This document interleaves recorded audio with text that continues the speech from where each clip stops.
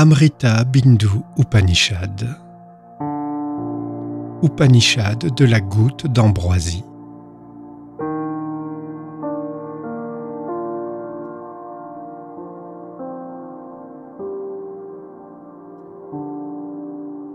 Homme, puisse-t-il nous protéger tous deux?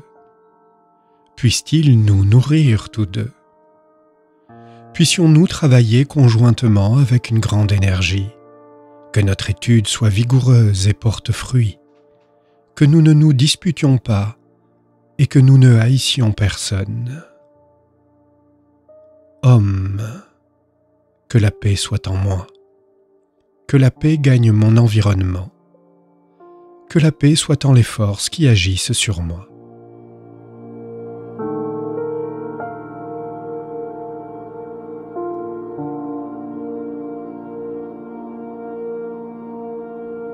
Le mental est réputé être de deux sortes, le pur et l'impur.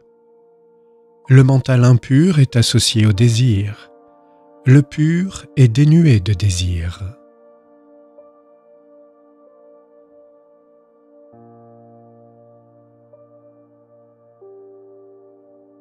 Seul le mental détermine chez les êtres humains leur captivité ou leur libération.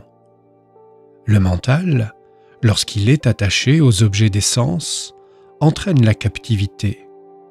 Inversement, lorsqu'il se dissocie de ceux-ci, il tend spontanément vers un état proche de la libération.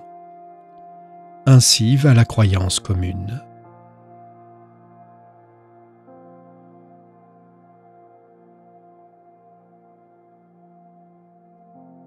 Puisqu'on attribue la libération au mental dénué de désir pour les objets des sens, l'aspirant à la libération doit donc maintenir son mental à l'écart de tout désir, et cela constamment.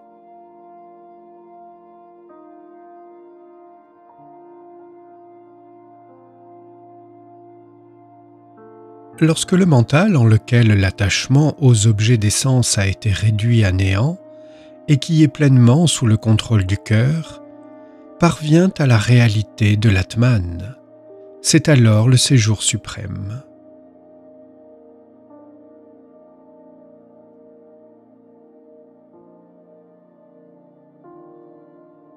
Jusqu'à ce que périsse tout ce qui s'élève du cœur, le mental doit être contrôlé. C'est là la seule sagesse, et c'est là la seule méditation toutes les autres voies sont longues et fastidieuses.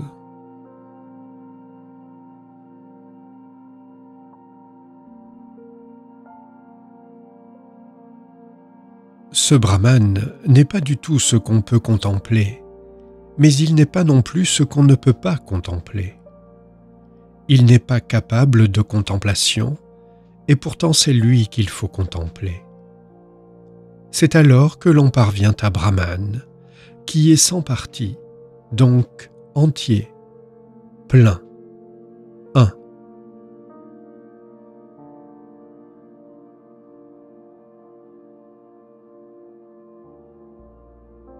Le yoga doit être associé au souffle.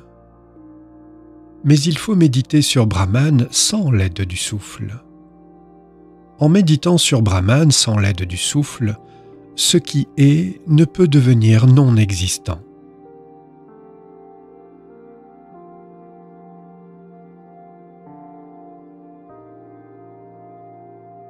Ce brahman est sans partie, dénué d'image mentale et paisible. Dès que l'on réalise Je suis brahman, on parvient à brahman, sans nul doute.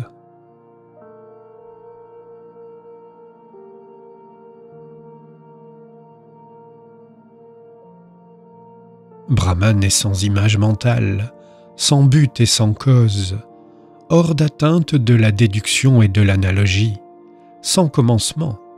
Le connaissant comme tel, le sage parvient à la libération.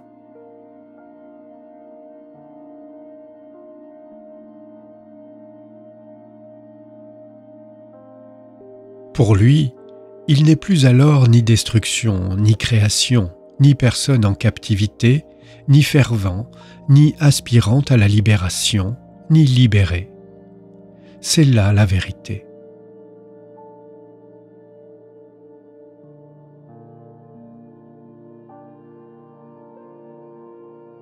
En vérité, l'Atman doit être connu comme unique, que ce soit en état de veille, de rêve ou de sommeil profond.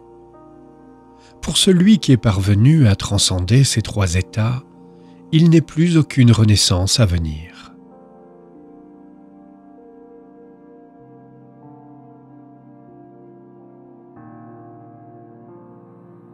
L'unique Atman revêtu d'éléments est présent en toute créature.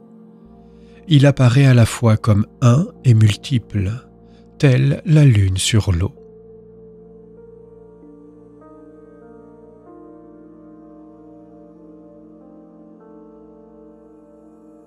De même que c'est la jarre qui change de place selon qu'on la pose à tel ou tel endroit, et non l'espace qui l'emplit, l'individu, le jiva, à l'instar de l'espace, reste le même à l'intérieur du corps.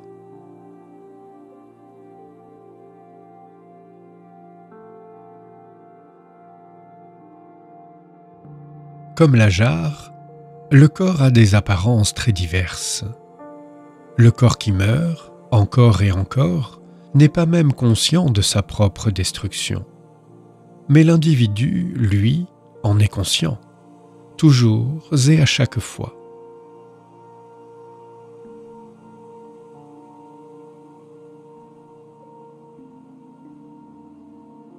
Celui qui est enveloppé de l'illusion du son ne peut jamais, à travers le voile de l'ignorance, s'approcher du soleil qu'est le suprême Brahman. Mais lorsque se déchire le voile de l'ignorance, il ne voit plus que l'unité fondamentale.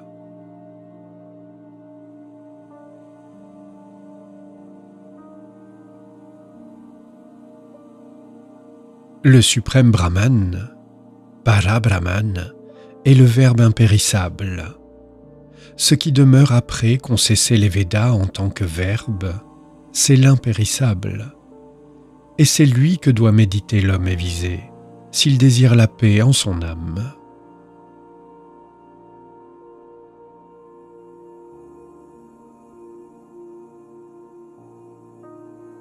Deux sortes de sciences méritent d'être acquises, celle du Brahman verbe et celle du Brahman suprême quiconque a totalement maîtrisé la connaissance du Brahman verbe atteint au Brahman suprême.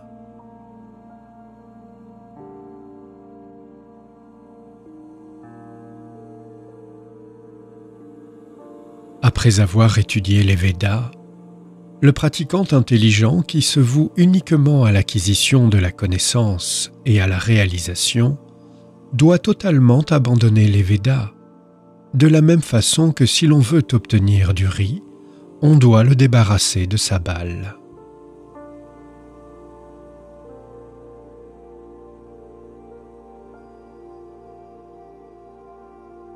Bien que les vaches soient de diverses couleurs, le lait a toujours la même blancheur. Ainsi on considère la connaissance comme le lait, extraite des Védas aux diverses branches.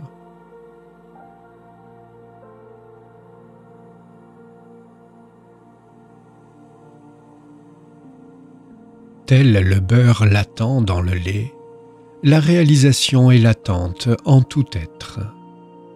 Elle devrait être constamment barattée à l'aide de la baratte qu'est le mental.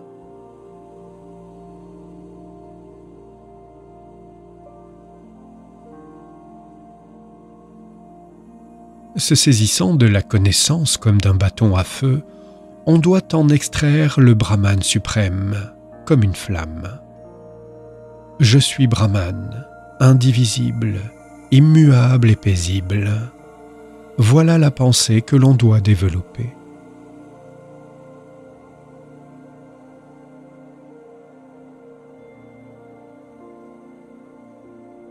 Vasudeva, celui qui demeure en tous les êtres, qui est le support de tous les êtres, et qui vit en tous et protège tous les êtres, c'est moi-même. Oui, je suis Vasudeva.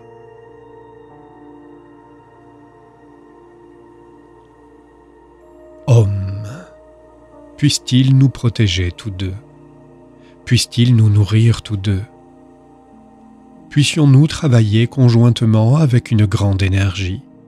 Que notre étude soit vigoureuse et porte fruit? Que nous ne nous disputions pas et que nous ne haïssions personne? Que la paix soit en moi, que la paix gagne mon environnement, que la paix soit en les forces qui agissent sur moi.